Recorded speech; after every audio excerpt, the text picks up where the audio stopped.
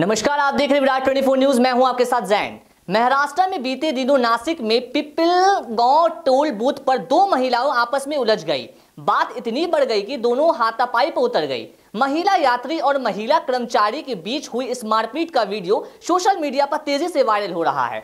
Viral clip में देखा जा सकता है कि दोनों कैसे एक दूसरे को धक्का देने के बाद बाल से खींचकर मारपीट करने लगती हैं। इतना ही नहीं, एक दूसरे पर थप्पड़ भी बरसाती हैं। मामला 14 सितंबर का बताया जा रहा है। मीडिया रिपोर्ट्स के मुताबिक कथित तौर पर टोल के भुगतान को लेकर यह लड़ाई हुई थी। ये वीडियो सोशल मीडिया में अलग अलग प्लेटफॉर्म पर तेज़ी से वायरल हो रहा है।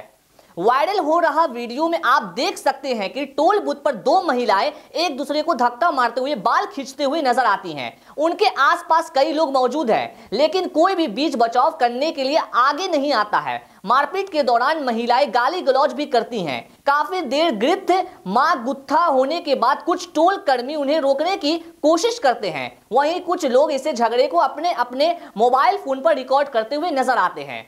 नासिक के टोल प्लाजा पर हुई मारपीट के इस वीडियो को ट्विटर पर मिस्टर राज माजी नाम के एक यूज़र्स ने शेयर किया है, जो देखते ही देखते वायरल हो गया है। वीडियो शेयर कर यूज़र्स ने कैप्शन में लिखा है, एक चौंकाने वाली घटना सामने आई है। नासिक के पास पिंपल गाँव टोल बूथ पर महिलाओं के बीच जमकर मारपीट हुई है।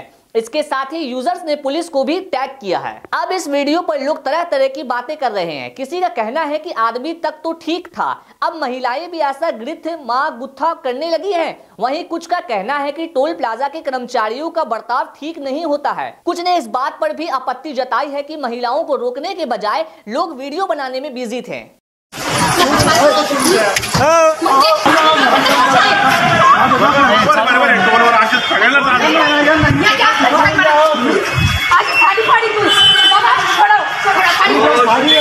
बरोबर